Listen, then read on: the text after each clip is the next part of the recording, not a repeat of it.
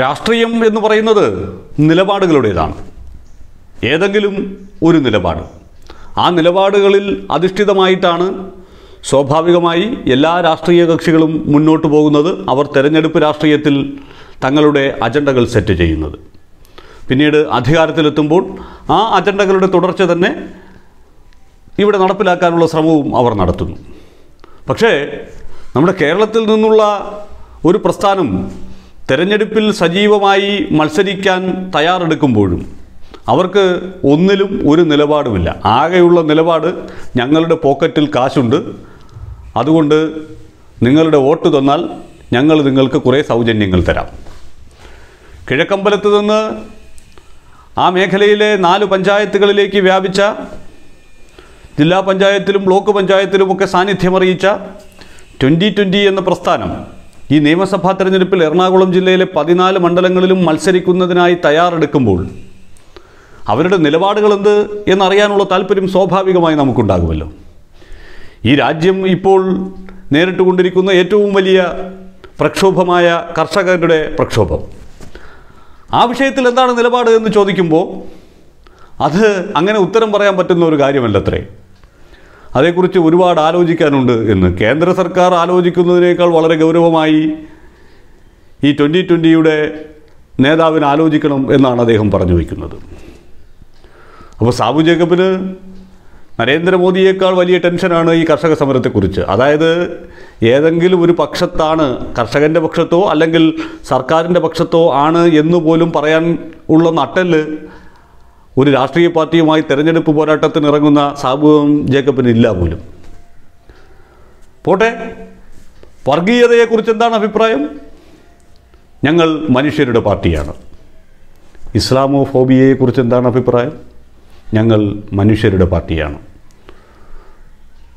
അപ്പോൾ എന്തിനെക്കുറിച്ചാണ് ഒരു രാഷ്ട്രീയ പ്രസ്ഥാനമായി തെരഞ്ഞെടുപ്പ് രാഷ്ട്രീയത്തിലേക്ക് വരുമ്പോൾ ഈ ട്വന്റി ട്വന്റി എന്ന സംഘടനയ്ക്ക് മുന്നോട്ട് വയ്ക്കാനുള്ളത് നമ്മൾ നേരത്തെ പറഞ്ഞതുപോലെ ഞങ്ങളുടെ പോക്കറ്റിൽ കാശുണ്ട്.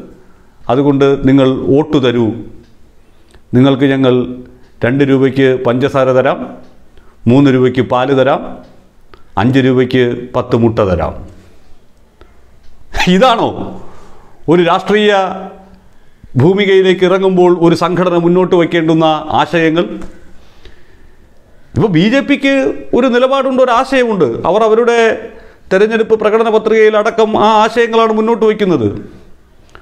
അതിനെ തിരസ്കരിക്കുന്ന ജനതയുണ്ട് അതിനെ അംഗീകരിക്കുന്ന ജനതയുണ്ട്. അവർ രാജ്യത്തിന്റെ ജനാധിപത്യത്തിനും രാജ്യത്തിന്റെ മതേതരത്വത്തിനുമൊക്കെ ഭീഷണിയാകുമ്പോൾ അതിനെതിരായ അതിശക്തമായ പോരാട്ടങ്ങൾ ഈ ജനാധിപത്യ സമൂഹത്തിൽ നടക്കുന്നു. കോൺഗ്രസിനൊരു നിലപാടുണ്ട് സി പി എമ്മിനൊരു നിലപാടുണ്ട് അങ്ങനെ എല്ലാവരും ചില നിലപാടുകളുടെ അടിസ്ഥാനത്തിലാണ് മുന്നോട്ട് പോകുന്നത്. ഈ രാജ്യം നേരിടുന്ന പ്രധാന പ്രശ്നങ്ങളിലൊക്കെ അവർക്ക് അഭിപ്രായവുമുണ്ട്. അങ്ങനെ അഭിപ്രായം പറയാൻ കഴിയാത്ത ഒരാൾ ഒരു രാഷ്ട്രീയ സംഘടനയെ എങ്ങനെയാണ് നയിക്കുക? അങ്ങനെ ഒരു നിലപാടുമില്ലാത്ത ഒരു സംഘടനയ്ക്ക് എങ്ങനെയാണ് നമ്മുടെ രാഷ്ട്രീയത്തിൽ ജനങ്ങളുടെ ഇച്ഛയ്ക്കനുസരിച്ച് പ്രവർത്തിക്കാൻ സാധിക്കുക? ഞങ്ങൾക്കൊന്നിലും ഒരു അഭിപ്രായവുമില്ല എന്നുള്ളതാണ്. മനുഷ്യന്റെ പാർട്ടി എന്ന് പറയുമ്പോൾ മനുഷ്യന്റെ പ്രശ്നങ്ങളിൽ നിലപാടുകളുള്ള പാർട്ടിയാകണം. അത് അനുകൂലമോ പ്രതികൂലമോ ആകട്ടെ. ഇപ്പോൾ കർഷക സമരത്തെ അനുകൂലിച്ചാലേ പറ്റൂ എന്നൊന്നും അല്ല പറഞ്ഞു വരുന്നത്. കർഷക സമരത്തിന് എതിരായിട്ടാണെങ്കിൽ എതിരായിട്ടുള്ള നിലപാട് പറയാമല്ലോ. പക്ഷേ നിലപാടില്ല. ഇനി വർഗീയത. വർഗീയതയ്ക്ക് എതിരാണെങ്കിൽ എതിര് എന്ന് പറയാമല്ലോ. പക്ഷേ ഇവിടെ ഉണ്ടാകുന്ന പ്രശ്നം എന്താണ്? ഇവരെ സംബന്ധിച്ചിടത്തോളം അവരുടെ കോർപ്പറേറ്റ് വൽക്കരണം അത് സമർത്ഥമായി മുന്നോട്ട് കൊണ്ടുപോകണമെങ്കിൽ ഈ പറയുന്ന രാഷ്ട്രീയക്കാരൊക്കെ ഒരു തരത്തിലല്ലെങ്കിൽ മറ്റൊരു തരത്തിൽ സഹായിച്ചാലേ പറ്റുകയുള്ളൂ.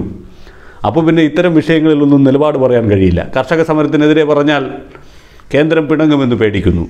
വർഗീയതയിൽ നിലപാട് പറഞ്ഞാൽ കേന്ദ്രം പിണങ്ങുമെന്ന് പേടിക്കുന്നു. ഇസ്ലാമോഫോബിയയെക്കുറിച്ച് അഭിപ്രായം പറഞ്ഞാൽ കേന്ദ്രം പിണങ്ങുമെന്ന് പേടിക്കുന്നു. അങ്ങനെ ഈ സമൂഹത്തെ ബാധിക്കുന്ന ഒരു വിഷയങ്ങളിലും ഒരു നിലപാടുകൾ ഇല്ലാത്ത ഒരു പ്രസ്ഥാനത്തിന് ഇവിടുത്തെ ജനങ്ങൾക്ക് സൗജന്യം കൊടുക്കുക എന്നുള്ളതിനപ്പുറത്തേക്ക് അവരുടെ എന്ത് മൗലിക പ്രശ്നങ്ങളിൽ ഇടപെടാൻ കഴിയും? കിഴക്കമ്പലത്തെയോ അതിനു ചുറ്റുമുള്ള മൂന്ന് പഞ്ചായത്തുകളിലെയോ? ഭരണം പോലെയല്ല ഒരു രാജ്യത്തിന്റെ വിധേയത്വം നിർണയിക്കപ്പെടുന്ന തെരഞ്ഞെടുപ്പ് എന്ന് പറയുന്നത്. ആ തെരഞ്ഞെടുപ്പിൽ സ്വാഭാവികമായി ചർച്ച ചെയ്യപ്പെടുന്ന ജനങ്ങളെ ബാധിക്കുന്ന വലിയ പ്രശ്നങ്ങളുണ്ട്. പെട്രോൾ ഡീസൽ വിലവർദ്ധനയിൽ പോലും അഭിപ്രായം പറയാൻ സാധിക്കുന്നില്ല. ഇവർ അഭിപ്രായം പറയുകയാണെങ്കിൽ അവരുടെ അഭിപ്രായത്തിൽ ഞങ്ങൾ പെട്രോളും ഡീസലും വേണമെങ്കിൽ നിങ്ങൾക്ക് സൗജന്യമായി തരാം എന്ന് പറയും. അതുമാത്രമേ അവർക്ക് പറയാൻ അറിയാവൂ നിലപാടുകളില്ല. അങ്ങനെ നിലപാടുകളില്ലാത്തവർ രാഷ്ട്രീയത്തിലെത്തി നമ്മുടെ ജനാധിപത്യ പ്രക്രിയയുടെ ഭാഗമായതുകൊണ്ട് ആർക്കു നേട്ടം? എന്തു നേട്ടം?